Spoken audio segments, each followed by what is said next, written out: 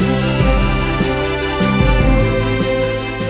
По статистике, каждое седьмое ДТП в регионе связано с управлением транспортом лицами в нетрезвом состоянии. С 1 января 2016 года любой нижегородец может сообщить о нетрезвом водителе на дороге, позвонив по единому номеру 127. Звонок поступает в дежурную часть управления ГИБДД по Нижегородской области, и ближайший отряд организует поиски автомобиля, за руль которого сел нетрезвый водитель. Акция «Трезвый Нижний» уже дала первые результаты. За 10 дней праздничных каникул на телефон поступило 31 сообщение. По трем звонкам составлены административные протоколы. Мы бы хотели, чтобы водители знали, что они находятся не только под контролем сотрудников полиции, но и под контролем, по большому счету, общества. Потому что позвонить может практически любой, там и бительный сосед, и э, заправщик на АЗС, и официант, который видел, как вы вышли, так сказать, в подпитии и сели за руль. С помощью акции «Трезвые Нижние» госавтоинспекция проводит профилактику нарушений на нижегородских дорогах, связанных с ездой в нетрезвом состоянии. Для этого на автомагистралях Нижегородской области размещено более 100 баннеров на антиалкогольную тему.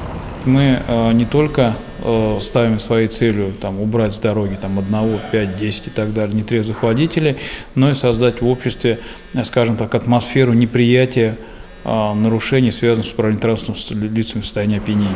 В 2013 году Нижегородская область уже становилась антилидером в России по количеству пьяных ДТП. Тогда было зарегистрировано 900 случаев. В 2014 году мы покинули первое место и переместились в тройку регионов с наибольшим количеством ДТП с нетрезвыми водителями. По оперативным данным, за 11 месяцев 2015 года было совершено 623 дорожно-транспортных происшествия с участием участием пьяных водителей. Несмотря на то, что статистика улучшается, безопасность все же остается в наших с вами руках.